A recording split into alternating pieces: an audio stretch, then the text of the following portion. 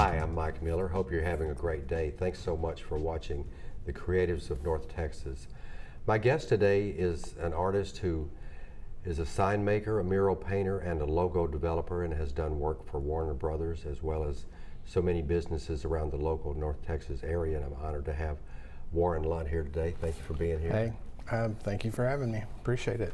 How's this year been for you so far? It's been pretty good. Started out slow, but uh, we uh, I've gotten a couple of good gigs. Got a um, mural for uh, a Kroger store in Arlington that that uh, kind of pulled me through. The the has let me kind of chill out a little bit this summer and not have to hustle mu- so much. I really like that. Uh, so you entered a contest?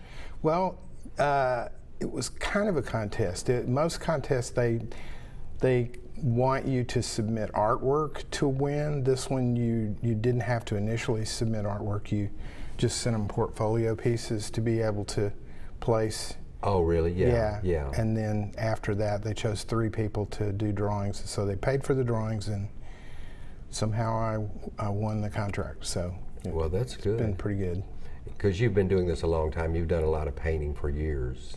Yep, that's pretty much all I've done in in my adult life. My I grew up. My parents were both uh, kind of semi-professional artists, and uh, so it's just I don't know. It's like, what else do you do? Yeah. it's like if you're already in the loop, you know. And your grandfather even did some sign making? Yeah, my granddad, my granddad uh, on my mom's side uh, didn't really know him that well, but he uh, he was a sign guy, and I would go visit him every once in a while, and it was just really impressed me how bohemian his lifestyle was. How he could break away and go buy me cowboy boots and take me to lunch, and just you know cool stuff all over the room, and Yeah. so. It, that's kind of why I decided to go that way. Yeah, the lifestyle, the Yeah, yeah. but it, it has its challenges. I just the, the, the work is like it, when we got into really doing murals, then you had to what set up things to stand on. What do you call them? Rack ramps. Um, scaffold. Scaffold, I yeah. almost forgot what they were called. And it's, uh, it's like you put somebody in pressure, under pressure, you go, uh, uh, yeah, well. Because I've seen the pictures. So, sometimes you have a group of people helping you with some of the bigger stuff. oh yeah, um, the Bearded Monk was like that. We, uh, That was 72 feet. it's 72 feet, but it's not the biggest one in town. The biggest one in town is uh, the over by the Juicy Pig that uh, Melanie uh, Smith and her husband did. Oh, really? Yeah, it's like 92. So it's it's they won. No, wait, Dan won. Dan's is huge. Really? Dan uh, Dan Black did a, you know, did the one on the side of uh, Andy's. Oh. So that's probably the biggest one now. yeah. so- is he finished with that now? Yeah, yeah, Really? it's done. Looks good. Looks great. yours, what was it that you painted for the bearded monk at that time? Oh well, we had a we were going to have a party. Uh, he, he made it an event, and um, so the the day of the dead after the races, we were going to have everybody come over there and, and paint. And so we had like a hundred people, you know, on Facebook had said they were going to come show up and paint. So I I I designed it, and me and um um, the owner, Ben Easley, and a, a couple other guys would go over there at night and draw it all out, lay it all out Oh, on really? the side of Yeah. the building, and then we had a party where they where people came, but we got rained out. So the second day, only 30 people showed up. and Oh, yeah. about 30. Bunch of people, bunch of good artists here in town, helped do that. So. What did you guys actually do the initial drawing with? Uh, Sharpies. Sharpies? Yeah, we just Oh, go uh, out there at night and project. You know, you have to lay it out. You take a picture of the building. You, you, you know, figure out where the windows are. You figure out where the, you know, the electrical boxes and the wiring and doors and all that kind of stuff is, so that you don't put images in a way that you can't reproduce them. So you have to pretty tediously lay out murals. Mm-hmm. Anytime you do that, you got to figure out what's there. So you Yeah. go in in Photoshop, drop your artwork in there. Oh, then you make transparencies on something that big, and take a projector out there, overhead projector at night, and shine it up and draw it off with sharpies. And then, the, you know, then they came in and painted it in. what kind of paints would be used for something like that? Well, m- initially we just had it painted white, you know. Like uh, a white background. Yeah, and I, I wish I could remember the guy's name. I could look on my phone if my phone was on, and tell you the guy's name that did the painting it white. But um, and then that was just with you know like a, a good exterior primer and house paint. And then we came back in with just black lettering enamel, one shot lettering enamel Yeah. one shot lettering enamel. it's a little endorsement there. Uh, and, you know, we just had the one color because the artist that we were kind of duplicating, his name is Rube Goldberg, and he always just did black and white pen, Oh, really? pen yeah. stuff. Yeah. Yeah. so, did you take art lessons as a kid, or? Um, well, the the only professional schooling that I had, I, I realized I had to go back uh, to school mid '80s, early '90s to take uh, computer graphics Oh, I see. Yeah. because at some point you realized that if you couldn't do that, you were pretty much out of business. Yeah. But other than good. that, I just grew up around it. Uh, My Mm-hmm. parents were always painting something in the room, and you know you had, had a, you had access to tools and all. that. yeah, yeah, I was all there, you know, and, Yeah. and so I never, like a lot of kids get discouraged by their parents of you can't make a living at that, so you're going to need to find something else to do. And my parents never, never headed that direction. I mean, they were practical, you know, but but they never really discouraged me from trying to make money off art. You That's know? good. Yeah. Where, where did you grow up? Uh, was initially I was born in Waco and spent a lot of time in Waco and Oak Cliff Oak Cliff. and then uh, Duncanville. Mm-hmm. So uh, You, you just- went to just- high school down there. I went to high school in Duncanville. Duncanville. Yeah. yeah. That's changed a lot over the years. Yeah, it really has. It's huge now. You go down there and it's it's like a totally different. The the high school is enormous in Duncanville. It's just one I high bet. school. Yeah. So as you started doing doing the artwork over the years, you just you you eventually even did some things like uh, I saw the Beatles something. Um, what was that bass drum? Uh, like a peppermint or something. Oh, oh, I've done quite a few renderings of the Sergeant Peppers. Sergeant I- Pepper. Yeah, I, you know, I really loved Sergeant Peppers, and so I've, I've done like a my own personal piece. Well, actually, when I was in school, uh, I you know did a piece like that, and everybody loved it, and I gave it away to a friend uh, who moved to Alaska, so I never saw it again. Oh, really? But I decided to do another one uh, here about five years ago. That after uh, John and George died, and then the one you're talking about is probably the one that was at uh, Atomic Candy on the window. Oh, Atomic Candy. Yeah, it was uh, Sergeant Peppermint's Candy Hearts Club Band. Oh, yeah. Yes. You did a good job with those. Well, thank you, thank you. I, I try to. My my mentality for doing sign work, or you know, is is to make you notice.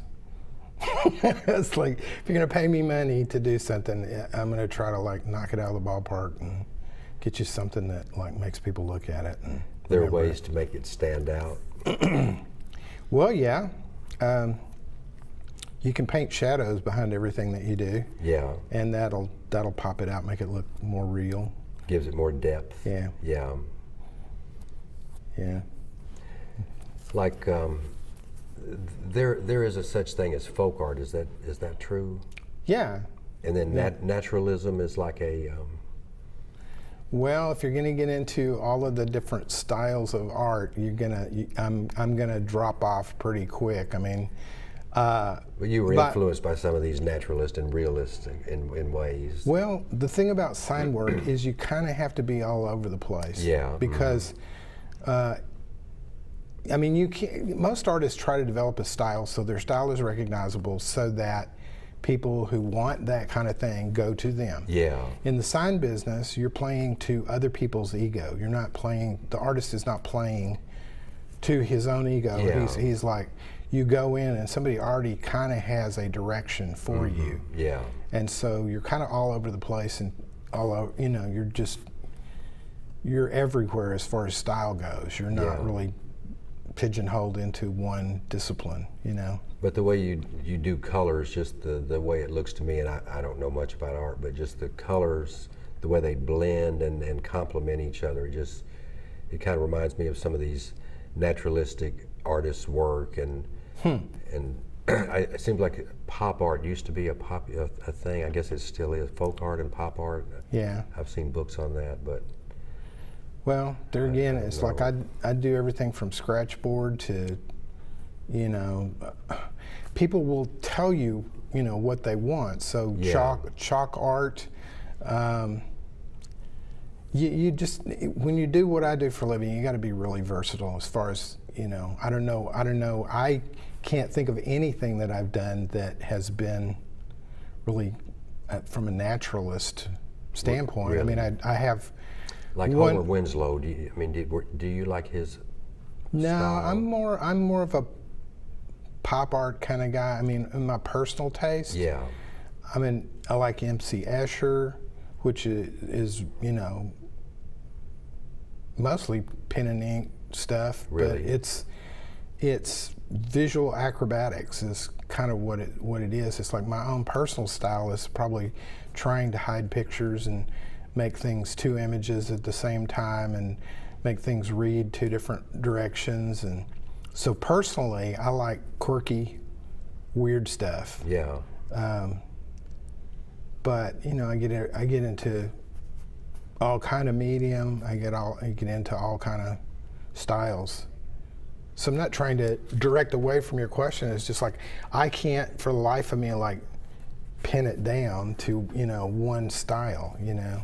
Well, I think music's like that too. It's hard to say that they're just they play folk rock or Yeah, whatever, you know, yeah. because it has so many other elements intertwined, maybe psychedelic. Sure. whatever, you know, and it's the same in art, I guess. Just so many elements are mixed, and like you say, you just have to do something for the for the client that they want when you're making a Yeah. mural from some for someone. But another thing, actually, in my life is like I get bored really, really easy if I'm doing the same thing over Yeah, and over, over and over. over, yeah. So it's like it's just like a musician. They're going to go, hey, let's let's throw a, a, a, a little bit of jazz into this country piece and mm-hmm. see what happens. You. Yeah. know, it's kind of like, can I get away with this kind of thing? You know. Like on that, what's the title of the piece you did for that Kroger in Arlington? It's called Roundabout. Roundabout. Yeah. What, what is that? Where it's like these two uh, dogs. Oh no, the dogs. The dogs were actually a guy walked by my house walking those dogs, and I asked him if I could take a picture of him because I was planning a mural, and he was like really happy. I want, I want to get to show him the finished piece. I haven't seen him walking the dogs Those since are then. Austin Street dogs. Yeah, yeah, Really? yeah. The guy I've seen the guy twice, but as soon as I see him, I'm going to show him. That's there. Maybe give him some money or something for letting me take the picture. But the roundabout is was a reference to there's there's traffic circles in that neighborhood. Traffic circles. Yeah, and it's the only thing that I could really find that was exceptional about the neighborhood specifically Yeah. because that's what they wanted was something that spoke to the neighborhood. So uh, I I put the roundabout on there uh, like a, a Google Earth view of the roundabout, and um, then just used circles as kind of a connectivity in the community. Um, you know, What did those lines mean that are close to those dogs? what do they mean? Oh, down by the the soccer ball, The dogs yellow in, lines, and they're walking into in the that. grass or something. Yeah, that was supposed to kind of indicate a playing field for the soccer ball. Oh, okay. Yeah. Like the grass that the dogs, the grass and the sidewalk the dogs are walking on turns into the playing field for the soccer ball. yeah. Is that one of the slides you want to use for the show, or I don't, no, I don't think I don't have that included that. yeah. No, they can go to, it's on your uh, Facebook? yeah, it's on my um, Instagram, Instagram page, uh, Fuse Warren, at Fuse Warren. You have a lot on Instagram. Yeah, you I probably need to call some of it. And you sometimes share some of that on Facebook too. yeah, yeah. I, you don't get as as heavy a response on Facebook when you're showing your art. I think people kind of think you're being egotistical or something. I don't know. On, Oh, on, on Instagram, they expect you to do that, you know. But on Facebook, it's like, oh, look, look, he's talking about himself again, you know. So it- you get likes on Instagram too? I, I don't I don't see Instagram for an old guy like me as really serving much purpose. I think I've gotten two jobs off of people seeing my stuff on Instagram. Yeah. To me, Instagram artists, it's just like a bunch of artists like patting each other on the back, going, "You're still good. Yeah, that's okay. Yeah, yeah. Can you keep doing this? Yeah. Okay. Well, we're gonna keep doing this. Okay. Yeah. Good job. Good job." Well, that's how it's always been, I think. Yeah. that Artists support each other. Oh yeah, we're all, we're all we all need it. We're we're all like terminally bipolar, you know, in terms of like Short I'm span. wonderful, I'm horrible, you know. That's for sure. And then the short attention span. That, Yeah. That's common. Yeah. Yeah. Yeah. The uh, you've done things around the the square Cartwrights. Yeah, John Cartwright's been real good to me. He's given me a lot of work. Yeah, he's a good guy. A horny, a horned toad, No, I haven't done the horny toad. or is that the title of one of your? No, no, no, no. There's there's just a horny toad on an old truck on a mural in the in the newer Cartwrights. Oh, It's down on Dallas. Yeah. Um, yeah, John and I sat around and tried to figure out what Texas icons to put. Most of those are his idea. Oh, really? Uh, the horny toad was um, Danny's idea. She's she's the manager of the Dallas store. She Oh, really? specifically requested me put a horny toad in the picture. Well, it So has that was for her. significance around here. Yeah, I mean, I used to catch them all the time. I don't know where they are anymore. I think we killed them all. Yeah. they got mowed up probably or Yeah. something. And uh, lettering, there's really a lot of history in, in lettering, I guess. And then what you're saying, gold leaf? Uh, yeah, I would really like Denton to get turned on to gold leaf. There, there, that I know of, there are only three gold leaf pieces in town.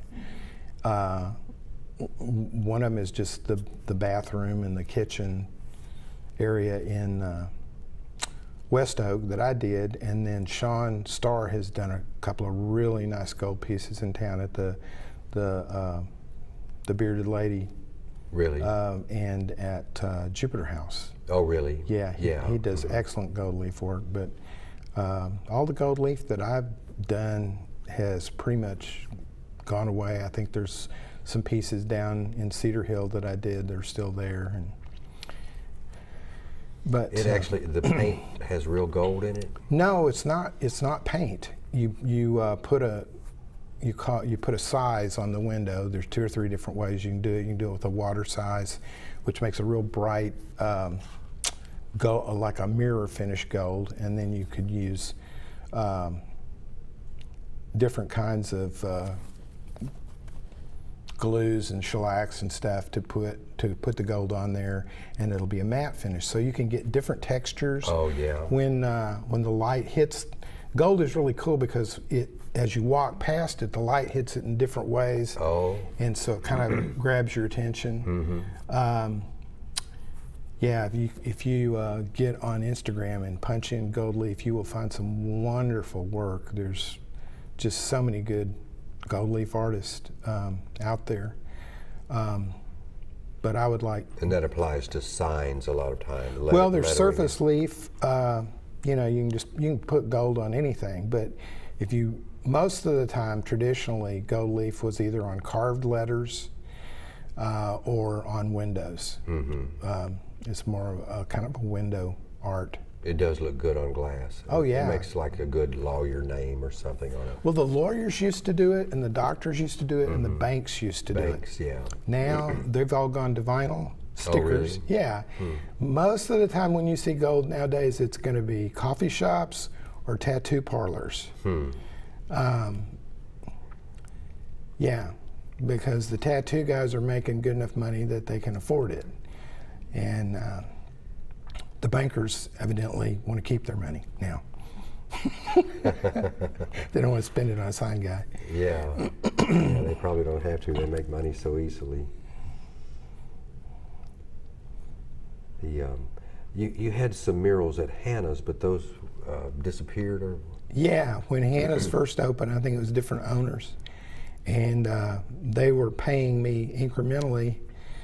We spent about three months on that mural. I had a bunch of people help me. My wife helped me. My, some of my, a couple of my sons helped me. Uh, a friend named Will Lawson did some of the animals in that mural. But it was a jungle mural. Um, and it lasted about four years, and I sent somebody over there to look at it to try to sell something else, and they came back and told me it was a white wall. So luckily, I got a whole bunch of pictures of it. But yeah. then I did put that in the in the thing that you know. Oh, that's one of the Yeah, the that's one of slides. these. It's this one right here. Yeah. The um, what is this actually? The design atomic ray guns. Oh, uh, Tim, uh, a good friend of mine, and he owns the candy store, Atomic Candy. Atomic ca- Tim. Yeah, he lets me do the windows a lot, and he commissioned me to do two different T-shirt designs for them. Oh, And one of them was sugar skulls. Um, as uh, if you if you look at it real close, it's it's ray guns that I've turned into sugar skulls. oh, really? Yeah. So he's he's a he's a kind of a he let he there's some people in town that just let me kind of go with what I want. Yeah, Yeah. they don't they don't say I don't want this, don't want this. They just say do something. I saw this in your studio. The design Jesus on Jesus. yes. That one took some time. It's all lettering and it's excuse me. it's everything that Jesus said about himself, not about other stuff, not about teaching, not about how you should live. It's just Jesus talking about Jesus, which he says a lot about himself. He, he says he, I mean, the record is that, you know, Matthew and uh, John were actually disciples, so they would have been firsthand. And there, you know, there's people that disagree about that or not. But I just, I decided to choose people who were firsthand, uh, at least historically, and recorded what he said. And over and over and over, he said he was the Son of God. And uh, his enemies said he said it. That's why they killed him. So there's not much dispute that he headed that direction. Um, but I did a Bible study and wrote all this stuff out, and I'm like, nobody's going to read this. This is like, why would they look at this? So uh, I hit on the idea. Yeah, art. I hit hit on the idea that if I made it kind of a puzzle, that maybe at least people would read some of it. I think it's really So- clever the way you've done that. Yeah. And I, I was looking, I was thinking about doing some other pieces where it was like Karl Marx on Karl Marx. Yeah. And, you know, different people, and you, you do the research and you realize that nobody really talks that much about themselves. They talk about, you know, their philosophy or, you know, mm-hmm. the direction or what, how people need to straighten up or whatever. Historical figures don't keep going, I'm important, I'm important. But then I realized that, don't, yeah. well, yeah, but then I realized I could do Trump on Trump. You know, it's so my wife said, You're going to have to use a lot of orange. so that may be a future piece, I'm not Yeah. sure. That might be a popular one. Yeah, I'm not sure anybody would buy it. Oh, I know somebody that might spend a lot of money on that. But never mind. I think he spent 10 grand on something, a picture of himself. Oh, really? Yeah.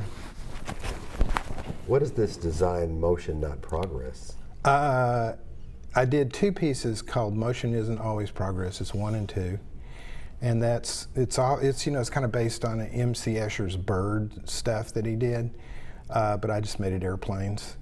Um, but the it that and the other piece, "Motion Is Not uh, Always Progress," is um, the other one is. Uh, a dual picture that I did where half the picture turns into another picture, and it's a girl on a swing that when you open it up, it's a clown juggling. Um, but the idea behind motion is not always progress is once you get older, you start to realize that a lot of what you're doing is just busy work so you won't notice your own depression or other stuff. You just got to keep busy. You got to keep busy, you know. And so, uh, just this idea that so much of what we do is not necessarily useless, but I, I just the daily that we get up and then you have to fix something it, for breakfast and then you have to wash dishes and then you have to. Well, it's not about the mundane nature of life so much as the self-importance that we all start to think that our actions are, you know, what we're doing is really, really important. I, I had this idea that when I did the, if I'm talking too long, shut me down. But if I uh, when I when I did the mural uh, for Kroger, I went and I got it cut, and the people that cut the boards cut them at an angle. So when I put them together, I you know primed them and everything, put them together. Well, they didn't line up. The tops were doing this, okay, oh, just really? like by a quarter of an inch or half an inch. Yeah.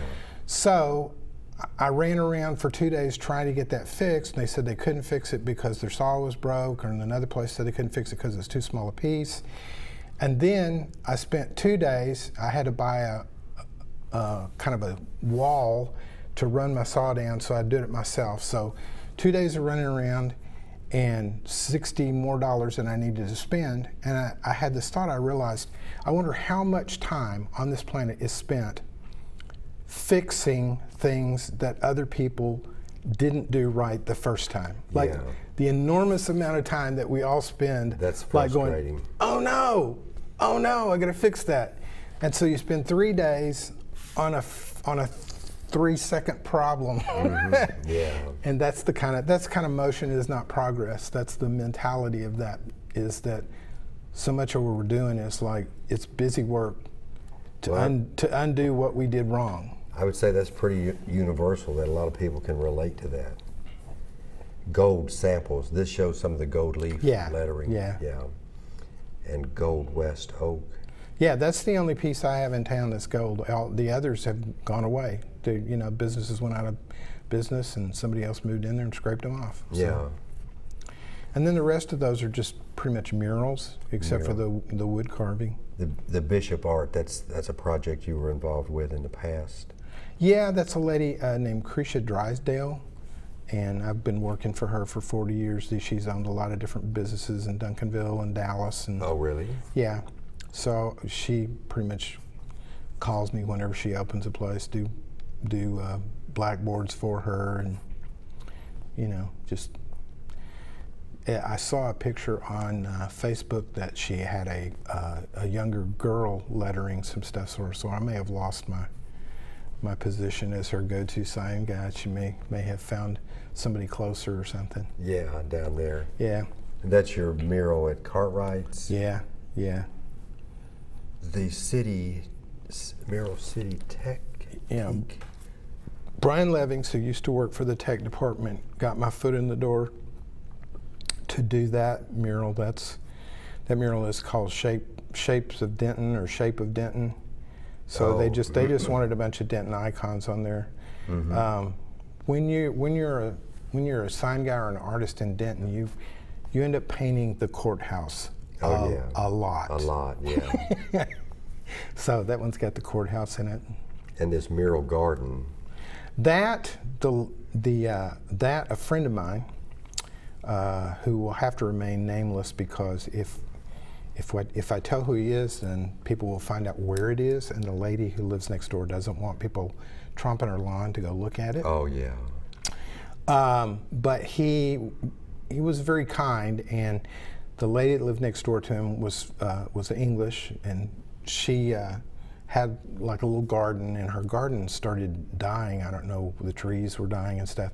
So he decided to pay me to paint um, an English garden. Her her patio faces this wall, and. Uh, he, he paid me to paint an English garden for her to look at when she goes out. Just to have a background out there. Yeah, Yeah. yeah. Well, that's a good idea. Instead of a instead of his big yellow wall. yeah. So I, he was he was real kind and uh, he's a good guy here in town. And if you approach me, I'll tell you who he is. Well, that's pretty nice. And then the, you have a slide of the uh, jungle murals at, Yeah. at Han- that were at Hannah's. And then uh, some of the murals they're just pictures of the of the art. My my uh, stepson David Popper took a picture of me finishing putting the last touches on the bearded monk and Bearded monk. That's yeah the so that's a 72 that's a pretty cool picture he took i thought it was a That is nice. A cool picture Is that still there now, or the bearded monk is yeah that uh, what you painted there? yeah Yeah, that's still there. yeah now. that was me and uh, the the bunch of people at the party painted that together Yeah. And then the Sweetwater, what? That's a snake. yeah the sweetwater snake is probably the first big thing i painted when we moved to denton when my wife and i moved to denton Really? we got married and decided to move up here instead of me joining her life or her joining my life we thought that that might create tension so we decided we would come to denton texas and do something completely different i had kids in unt at the time That makes sense. so they let me paint a big snake on the side of the building so And that kind of that kind of that was my that was my selling card to pretty much everybody else that I would approach. It was like, "Have you seen the snake?" You know. because it's a big Yeah, but it's gone. gone. In the sign business, a lot of what you do lasts A few years. yeah a few years, and then it transitions into something else. Yeah, yeah. How do you say it? Wise, Jordan. Jordan, um, that's Jordan Weiss uh, standing in front of a spray paint that I did of her dad here in town. Really? He's since moved uh, up to the the northwest, and she still is in town. She uh, cuts hair um, here in town. But uh, that was my first graffiti. Oh, I've been, really? I've been doing this 40 years, and Yeah. I've never really done spray cans or graffiti. Dan Black approached me when I was painting a sign for um, Damon Warren on his uh, dent, his hail, you know, fixing place, and he was like, I was painting on corrugated. I was painting circles on corrugated for a, for a big hand that said unding. And Dan approached me and said, "Why are you using a brush to do that? It's taking you forever to do that." I'm like, "Well, I've never done spray paint. This will last longer, and uh, so this is just what I do for a living." is, "Well, I've got this wall that I've got permission to paint the whole wall. Come over here." So it's like this was my maybe my second or third encounter with Dan Black, who's an incredible artist here in town, and he. Uh, he said, uh, I'm going to give you space on my wall. So uh, Eric had posted that he was growing his hair back out because all of us old guys used to be hippies, who used to be hippies. Not all of us old guys used to be hippies. My friends who used to be hippies, you know, they retire and they go, screw it, I'm not going to get a haircut anymore again. You know, Yeah. I've left the job. Now we're, we're going back to who I really am. So he was growing his hair out and he posted this, you know, this picture of himself online. So I kind of like extended the hair and did this like tribute piece to my friend Eric Weiss uh, on the wall. And uh, so Dan let me use his spray paints, and I, I went to it, and so that's my first. That's my first and probably last graffiti. Yeah. Um, but I, he, I just really think it. For the a first piece, I was like really happy with how it came out. Yeah, I like it. Well, I appreciate you coming down today and, Okay. and sharing some stories about your art and so on. And thank you guys for checking us out. I really appreciate it, and I hope that you have a great day.